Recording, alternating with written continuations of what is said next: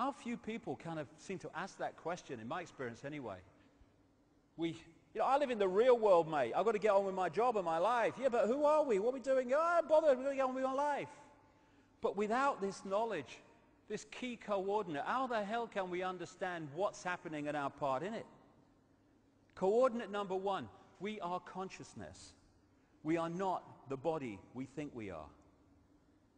And the idea is to put us in these eggshells of consciousness. And it's a doddle, a doddle, if we don't hold on to an understanding or have an understanding of who we really are and the magnitude of it. Just quote from one of my books, only when we know who we are can we know freedom. Of course. How, uh, unless we know the nature of reality and who we are and our part in it, how can we understand the world if we don't understand the reality that is the world? No wonder we're bloody confused. What is reality? How about that question? Oh, no, that's just for scientists. It's not for you. We'll watch the football. Nazi propaganda minister Goebbels. It thus becomes vitally important for the state to use all of its powers to repress dissent, for the truth is the mortal enemy of the lie, and thus, by extension, the truth becomes the greatest enemy of the state and the truth that is most suppressed, the biggest lie of all of them, on which all the others are based, is it's all an illusion. This physical world is not physical, it's not even out there, it's in here. It's a holographic projection. So I'll come to as we go along. It's an illusion of physicality, an illusion of solidity. We are consciousness. And it's so easy to trick the mind brain to see reality in ways that are not actually what it's looking at. And this is this amazing bloke who draws um, pictures on flat pavements. And yet the mind reads them, the brain reads them as three-dimensional. Does some great stuff. Uh, there's another one. Uh, we, uh, we can look at that as, what, seven compartments, or we can see that as a box. Depends on how the brain reads it. These um, color reds are both the same. But because of their interaction and placement with other colors, they look totally different because the brain reads them differently. We are decoding reality, and how we decode it decides the reality we experience. Major, major point we need to understand. Einstein, reality is an illusion, albeit a persistent one. Why it's a persistent one we'll come to before we finish this first section. But reality is an illusion and we need to understand that. We think that we are physical bodies and that's who we are. I'm Ethel Jones. Charlie Smith, I'm a taxi driver, I'm a doctor, whatever. No, no! They are what we are experiencing. They're not who we are. There are many multiple levels to us. This is just one that allows us to experience this reality. If I want to pick that up, uh, my consciousness could not pick that up because it's vibrating too quickly. It's not in sync in the uh, frequency range of that, so I couldn't do it. I take on this outer shell that operates within the frequency range that I want to experience. Now I can interact with it. Simple as that. We are consciousness working through a physical body. All life is consciousness uh, and energy animating holographic forms, including plants, everything. We are consciousness.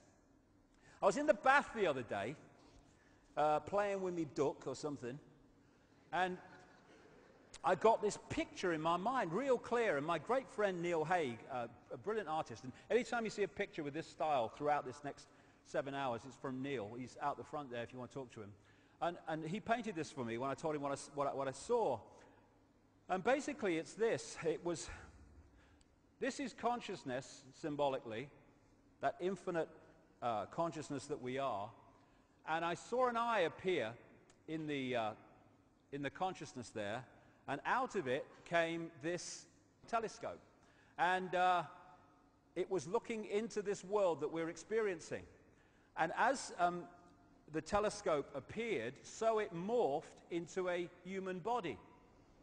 And that's what the body is. It's a telescope that allows consciousness to experience this reality, this reality of apparent division, um, and have the experience of that. But we've got trapped in the belief that that is the totality of who we are. Consciousness and the body interact during a experience here, but the body is not who we are. It's interesting, this um, energy field we call the aura, whatever, you have energy coming down through the top of the head and out and going the other way. Uh, and it's like an electrical um, burst of energy going through the body which throws out this electromagnetic field that we call the aura. And interestingly, when you do the same with electric wire, you put a uh, current through the wire, it throws out an electromagnetic field. And in the same way that this happens to us, so it happens to the earth. Because everything is a reflection of everything else and works in basically the same way. And this combination of the genetics of the body and the electromagnetic field I call body consciousness. And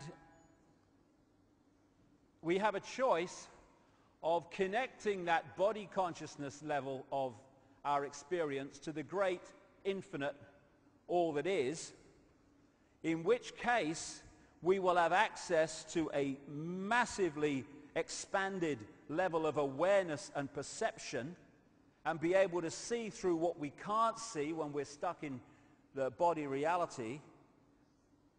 Or, and that's what this is basically, this eggshell I talk about, it is the body consciousness, the auric field working directly through the body. And if we get isolated in that, then our level of re- reality perception and what we can perceive and expand our mind to understand is massively uh, suppressed. And this is the situation that we face in this world. People who are infinite consciousness operating at the level of body consciousness. And that's exactly where the manipulators want us.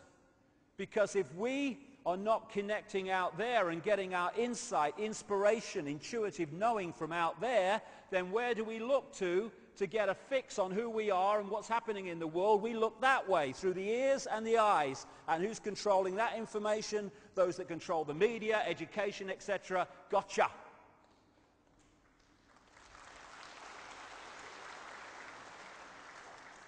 The body, I call it, I call it a genetic spacesuit.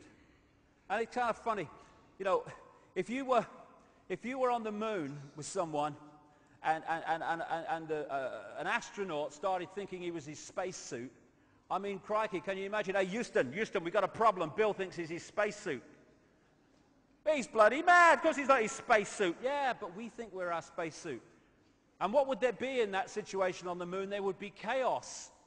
Well, that's why there's chaos here, because we believe we're our spacesuit. That's what makes racism so insane. It's like saying, oh, I'm better than you because my spacesuit's different colour. Bloody ridiculous. But the cutting edge of human knowledge, so why should I, why should I complain? We are consciousness working through the body. Now I got a real, I got a real um, uh, um, amazing feeling for this about two years ago, just before I last spoke here, when my mother died, Barbara. And I went along to uh, the funeral, obviously, and my, my brother had organized it. And he said to me, do you want to come and see, want to come and see uh, your mum while uh, in, in, the uh, mortuary um, or at the funeral parlor? And I, my immediate reaction was, no, no, I'll remember as she was, because it's just a body anyway. But something said, no, go, go, go, go. And for some reason in my life, I've never come across, the first time I've seen a, a dead body was my mother. And uh, I turn up and I walk in this room, and there's this body in this coffin, this open coffin. And I know it sounds ridiculous,